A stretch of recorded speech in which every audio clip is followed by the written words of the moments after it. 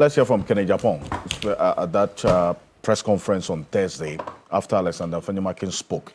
He also had a few words to share. Let's listen. To get understanding from the speaker. So we were at the caucus meeting, and maybe I will admit that it took so long. But that is even allowed in parliamentary culture. I engaged Honorable Agboja and told the minister, oh, then you made a mistake. You should have informed the speaker that you were at the caucus meeting. The speaker didn't know, which I cannot defend because I'm not part of the leadership. And I'm sure he, he's right. I'm sure if my leaders have informed the speaker that we're holding a meeting and we'll be back, definitely he would have waited. So, you know, Ken, it was the onus also so on the so-called majority leaders to inform the speaker, where are your colleagues? And he will tell them they are in caucus. They want to tell her that nobody knew that we're having a caucus meeting. Well, he can be Epimenides and sit on the fence because even if he knows, and once there's no official communication, I can pretend I didn't know. That one day, I can pretend that I didn't know. Yeah, that's the that's the problem. I've, I've posed that question because I entered the chamber and I saw I saw NDC occupying NPP seats. So I just had to leave.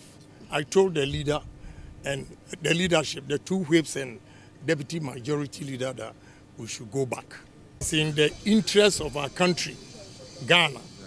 I believe in Ghana. With what is going on in parliament, it's not good for the country. I have advised my colleagues from the, the other side that look, assuming you win the incoming election, would you get two thirds of parliament to take decisions? And they all said no. So I said, well, if you are saying that Professor Michael Oquaye set a precedence and you are using that to take a position as you have done, then what happens if you win election and you don't get two thirds? Do you expect NPP also to help for us to rule this country? That is my fear for Ghana.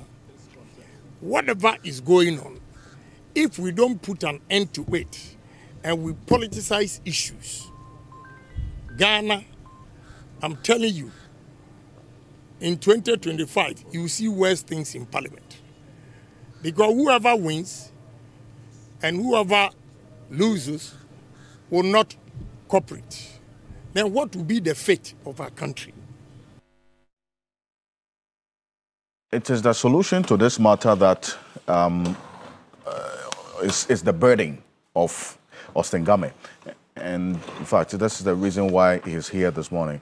So, Gamey, I'm going to bring you in here at this point in a bit, but let me also welcome um, lawyer Amoakwa. He is a member of the NPP Legal Directorate, uh, lawyer Kingsley Amoakwa Badu, and then also a, say, a lecturer, a law lecturer, joining us on the phone. As I indicated earlier, um, Andy Appiah-Kubi has a, a, little issue to, to deal with. And so he was scheduled to be here, but this morning, in fact, we've just gotten notice just about an hour ago about the situation that he's had to deal with. So lawyer Kinsley Amoakwa Badu is joining us uh, uh, on, on the telephone. Lawyer Kingsley Amoakwa Badu, good morning. Good morning, Alfred, and good morning to your listeners and viewers. Thank you very much for joining us here on Key Point. Now, um, Mr. Gamey, with what is at play now, it's quite clear there are entrenched positions at play. And there is really no end in sight as far as the politics of the situation is concerned. Does the solution to this matter lie in the courts, or, as the Speaker said, Parliament has the capacity and the capability to be able to solve this problem? Thank you, Alfred, and uh, good morning to everybody listening to us and my dear friends and uh, uh, Mr. Amoakwa also online. Uh, indeed, to be very honest with uh, all of us, this is a very burdensome matter that uh, we need to take seriously. I say so because we have uh, a strangulated economy on our hands already, and going into an election without knowing the direction we want to take. And so, coming to add this problem to it is quite, uh, uh, it should be of concern to everybody.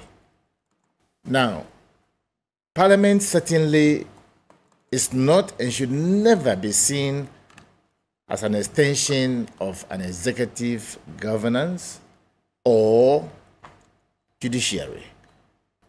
Parliament must remain independent, and members so elected should see themselves, though they came on the vehicle of political parties, oftentimes they will have to represent the interests of the state. And that is very, very instructive and should be taken seriously on board. And that is the reason why any form of decision by the judiciary will have to be completely in consonance and in sync with the Constitution of Ghana and not placing anybody. And I think they've, let me assume positively that that is what they've been doing all this while and should continue to do. Because some aspects of the Constitution are to be applied mm-hmm. and not to be interpreted per se, unless it becomes really, really very critical. Otherwise, just like the laws, they are expected to be applied. Right. You know, otherwise the Supreme Court will be inundated mm-hmm. and they can never do any other work. Okay. And, and, and so it's very important as a foundation for this conversation. Mm. Now, the problem, let me call it problem for, for now, uh, that is visited on Parliament now, is, is the reason why I wrote personally, uh, and, and for the information of the public, I wrote to the Speaker and copied the same letter to the two leaders. Let, for me not be, to become part of the, the, the, the mm. controversy, to the two leaders. You, you, you wrote to them? Yes. I, I delivered the letter myself, and when in doubt, with one of them. He asked me to forward it back to him. I did same. We, we spoke on the phone, exchanged a lot of pleasantries. And so is, is, is that I have taken notice that Parliament is being gradually pushed to become like an extension of the judiciary so that every little thing the judiciary will become part and parcel of you know the house mm. and and it's so it's so dangerous for the nation that we should we should allow such a thing to happen and that is the reason why i wrote to them and told them that look what you are doing to yourselves if you don't find ways and means of resolving this matter that can be resolved you will gradually now allow yourselves to be controlled by other arms of government, and you will live to regret it. So I know at least some of them have reached out to me, mm-hmm. and uh, I'm a mediator. I'm not. I'm not talking about it for talking sake. I, both within Ghana and outside Ghana, I'm invited to do, and I do. And, and so, therefore, because mediators have a habit of not talking in public about matters they have been able to resolve and those they are dealing with. Mm-hmm. So I am unable to, to say, say so that, much. and I will not say it for the sake of my clients whom I have assisted in any way uh, possible. But this is, uh, to me, and let me say it uh, with clarity, that this to me is a small matter.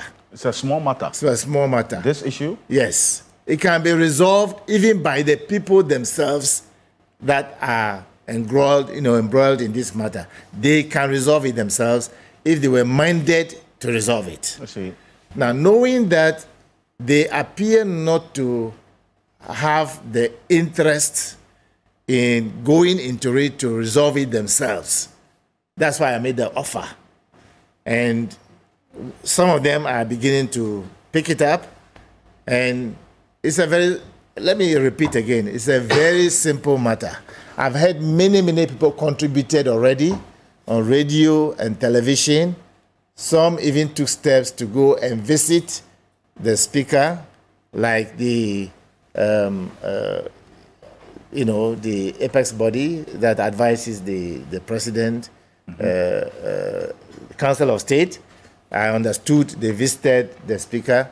But I know as a mediator, to be very honest with you, it's not everybody who can, can help resolve matters of this nature. You know, it's not everybody, especially those who have deep seated partisan political interests. So you will not recommend the president? Of yes, course, the president cannot and may not. That's why he's not even taking any step to do it. Well, you know, even the Council of State, it means they must make very careful choice or choices of people who will go there. Mm-hmm who will be completely impartial people, because impartiality is very critical in this matter. I am, by God's grace, I can. I, I am. I have been on the ticket of NDC before, and I empathize with them. But when it comes to mediation, the mediator is not the one to resolve the matter. The mediator will only facilitate the process and get the parties to resolve the matter themselves. And therefore, that, that is what I will represent. And I can tell you on authority, by what I know and what I have been doing, mm-hmm. that if I have a pre meeting with the NPP side, I have a pre meeting with the NDC side, I have a pre meeting with the Speaker of Parliament, and brought the three parties together within some hours, we should be able to resolve this matter because already they are they are supposed to be all they are all gentlemen, you know, uh, and and therefore they know what is right and what is wrong. We'll be only guiding them to have a conversation, because if you go debating, you have a loser, you have a winner. You have argument, you have a winner, you have a loser. I know as a mediator how to lead them through the conversation to resolve the matter without burdening anybody and without anybody feeling guilty. Now, Supreme Court will, will give a definitive kind of ruling. And when they give a ruling, it become a precedent, is imposed on you, you are to go and comply. But do you know the outcome? when Supreme Court even says that the NPP side has won mm-hmm. and this side has lost, that is when you will have a problem. That is when the crisis will begin. Because NDC will have to comply, Speaker will have to comply because that is a ruling of the court. But they will not collaborate.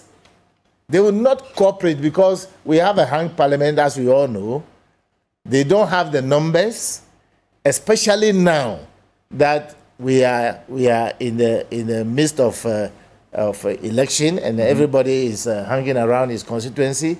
You will not always have the numbers in parliament. And NDC people, if they marshal their numbers, even 100, and they are available in parliament, they will always throw, throw, throw out whatever is brought by the, by the executive. And is that what we want as a nation? Certainly not. And therefore, we need everybody to collaborate. Right. And so I mm. think that the way forward is clear.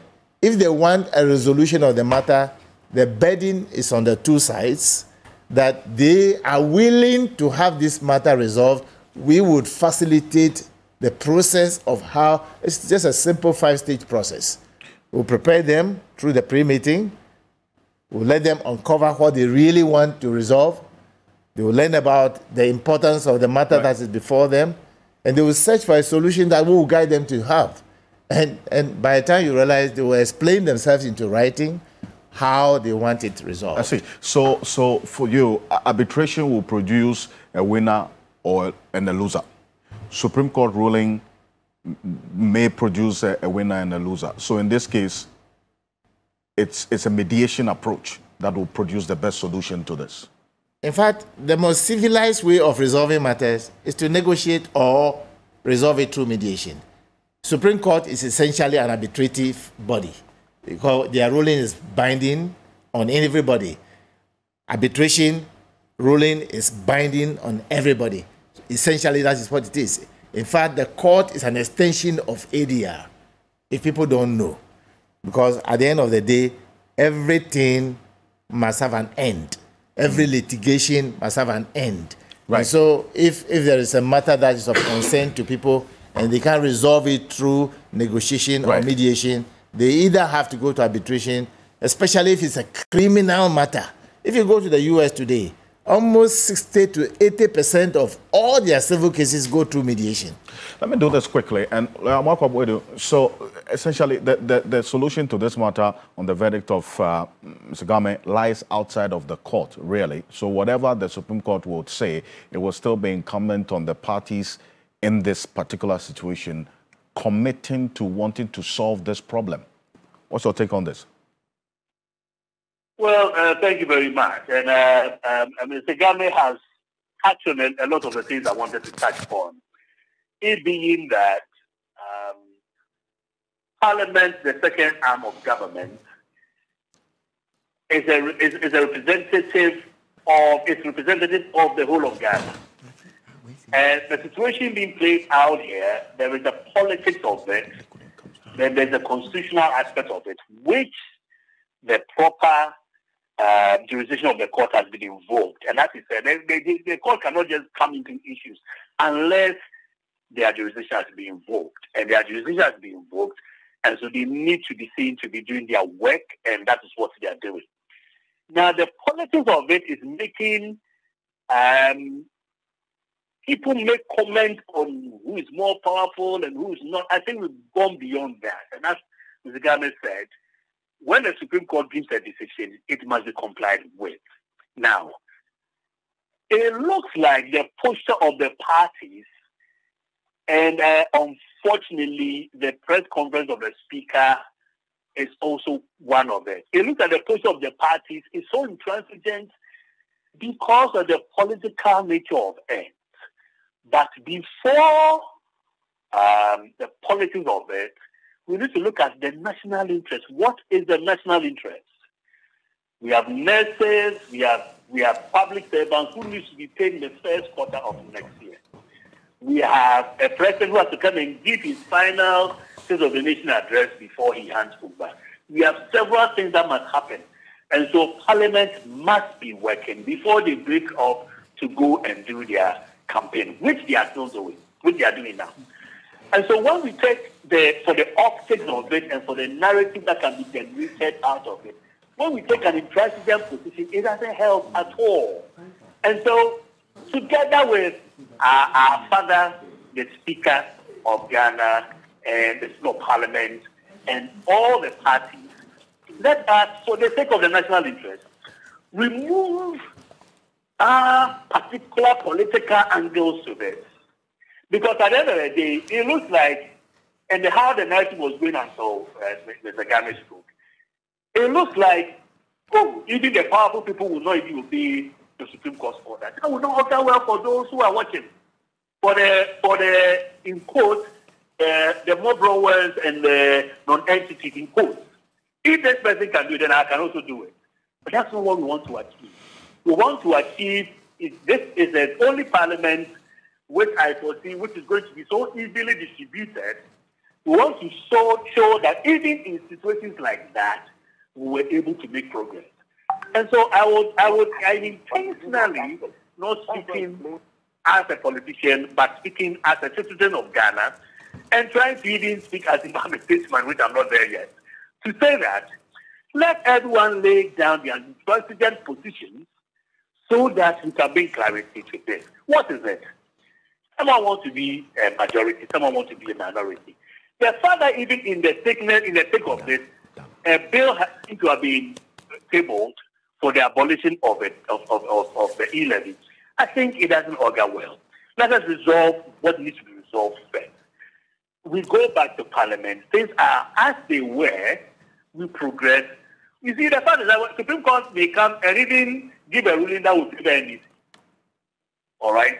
May give a ruling that favor because you see, the position of the deputy speaker is different from those who are not, uh, who are just uh, trying to be independent. Order. So you see, the legalities of it is also not not straight jacketed. But for now, so that Parliament can work, let the status quo ante remain. Let people who can speak to both parties speak behind the scenes, not on, on platforms like this, not on other public uh, uh, uh platforms that only infuriate or enforce intransigent positions. We have to really bring everything down so that at the end of the day, the Supreme Court sacrosanct and its, its power is maintained. That of and the respect okay. that at least or according to it is maintained. Then that of Parliament is also maintained. If it, it shouldn't be that what happened in, on the 6th of January 2021 that went into the dawn of 7 is repeated. It should never ever happen again.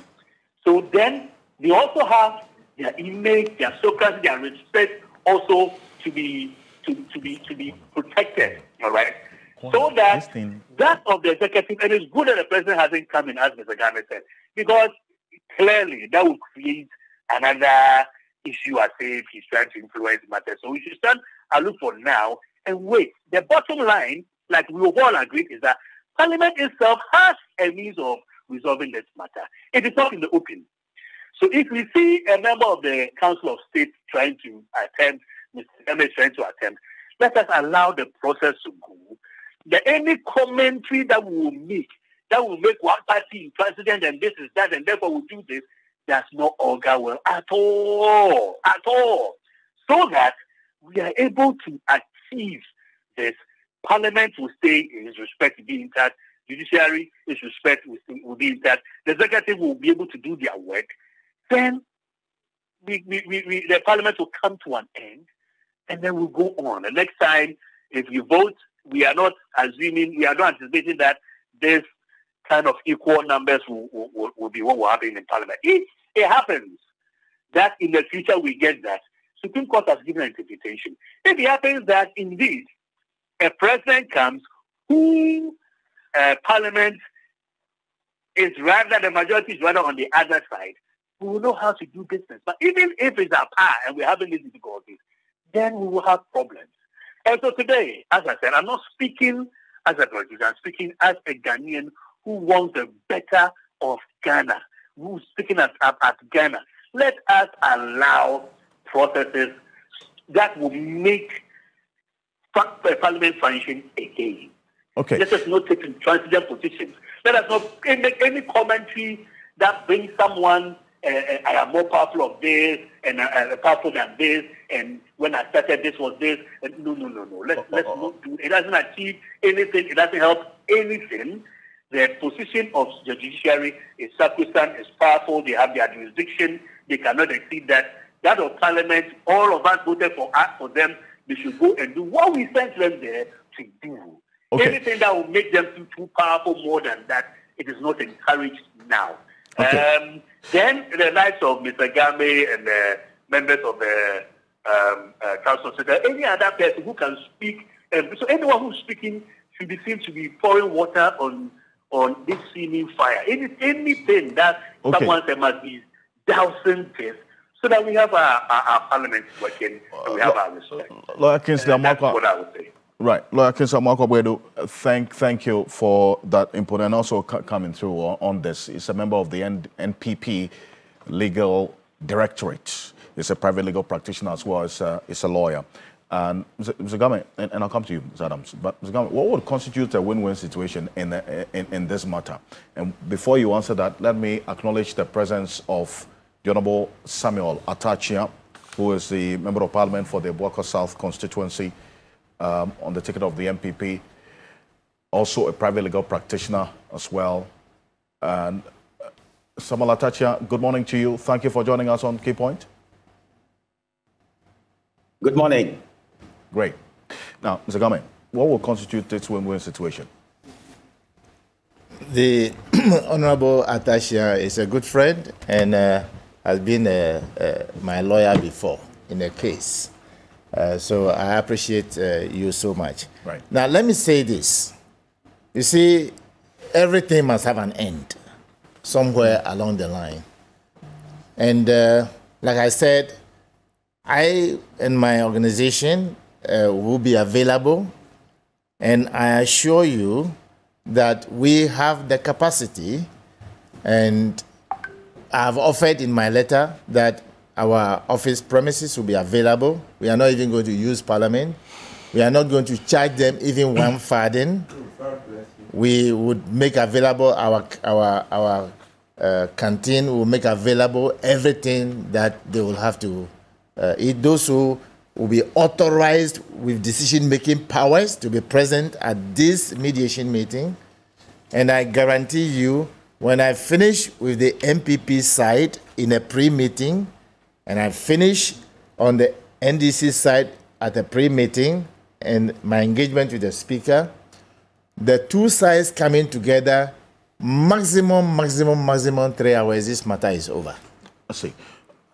Ms. Adams, so what what is with this position that has been espoused by Kinsey Amarko Abuedo that is a point of departure from the position that the NDC takes on this matter and how this can be resolved? really, well, for the greater good? Clearly, you can see the NDC have, for the life of this eighth parliament, has always been available to transact business for and on behalf of the state. We have disagreed in times where we'll have to disagree on a position based on what we think will impact negatively on the people we serve.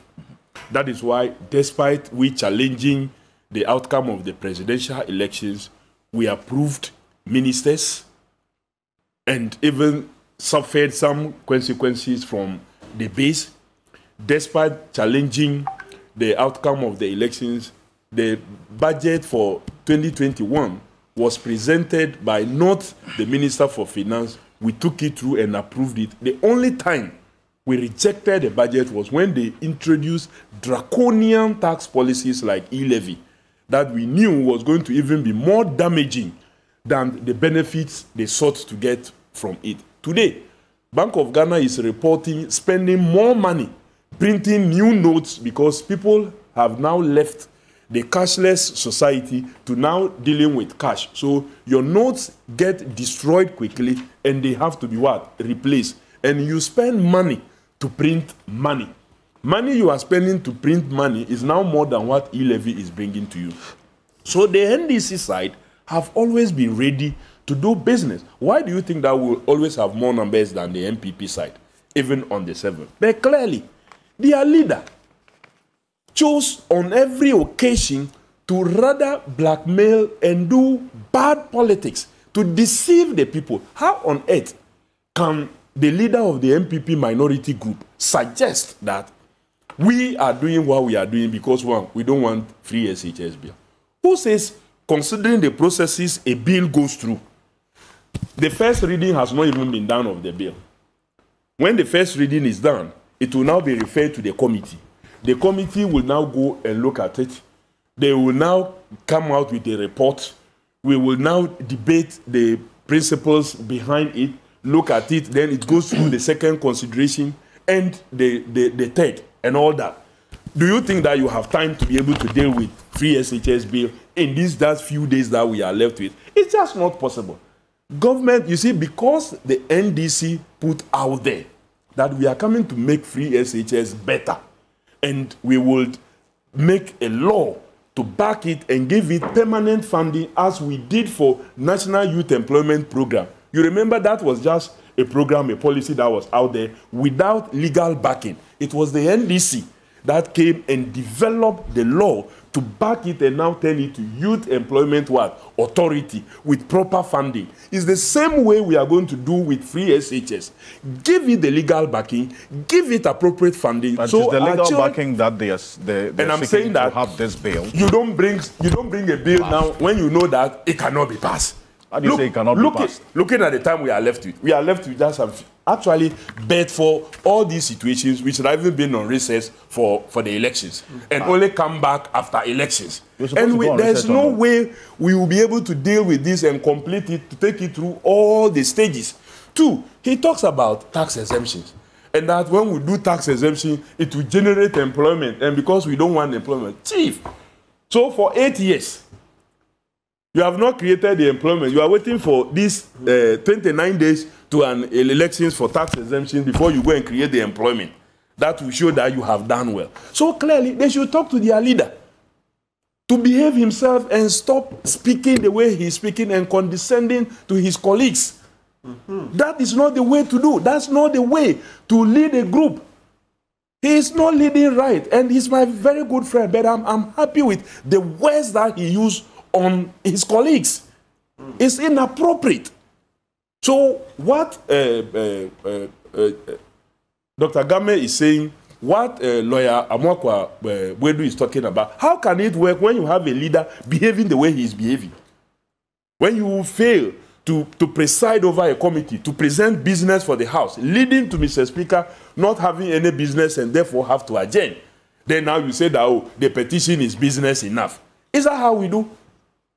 How can petition now become business so recognized for the House? That petition was only requesting Mr. Speaker to recall, and it ends there. Whatever was the basis for request for the recall, once Mr. Speaker has done it, that must translate into a business that will be presented to the House for the House to transact. You failed to perform that duty. You failed. And so clearly, they should be talking to they should be talking to their person. They should be talking to their leader if they truly want us to deal to deal with all these situations. But I can tell you that most of the things that they are talking about for free SHS thing that he's doing, it will not mm-hmm. wash. Ghanaians know that they have messed it up and advertising that save free SHS, vote Bawumia. In this state, we, like I've given you example, President Kufuor introduced National Employment Pro- National Youth Employment Program. No okay. legal backing, nothing. They were just picking here and picking there. And at the time we came, payment even was a problem. We in NDC gave it the legal backing and created permanent sources of funding that today we have Youth Employment Authority that has funding that they pay people who are employed in that, in that sector.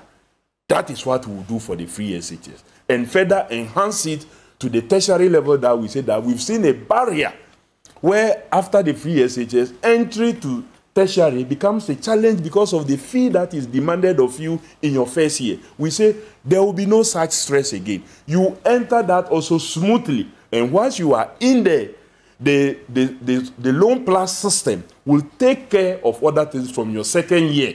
And when you leave university also, because of 24-hour economy, the policy of what 133 you will also get job to do and once you get the job you will be paying for the loan that is given you so we have a clear policy guideline to deal with unemployment educational challenges from secondary through tertiary that is the NDC for you.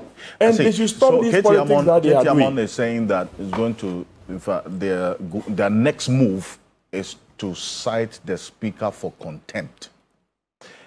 He well, said this to journalists. I want, hold on a bit. I want us to hear from KT Hammond on okay. that particular issue of the next step that the NPP will take to cite the speaker for contempt because of what happened on Thursday. Take a look. The parliament is, is a master of its own regulations and its own. It's nonsense. That's not the case.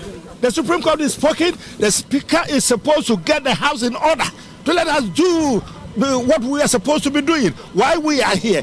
Why does he consistently keep like He's not based on the constitution, but what, what, what, what, does he? What, you see, listen, listen. Be careful. Listen to what you are saying. If I, I don't expect the speaker to be saying things like that. He's a seasoned lawyer. He can't be saying that. He doesn't act on the basis of the constitution, but on the basis of the standing orders. What are the standing orders? The master of the. But that's an entirely different matter. What's an entirely different matter? Supreme Court is simply asked that he should give an order to restore what the situation question was recall, you are not listening. We recall Parliament. The Speaker, when he sat, was supposed to do a first thing, and the first thing was supposed to be this: the decision, the ruling that I made on the particular day has been overset, has been stayed by the Supreme Court which interprets the constitution, interprets what we do over here. Accordingly, the status quo ante should be reverted to. So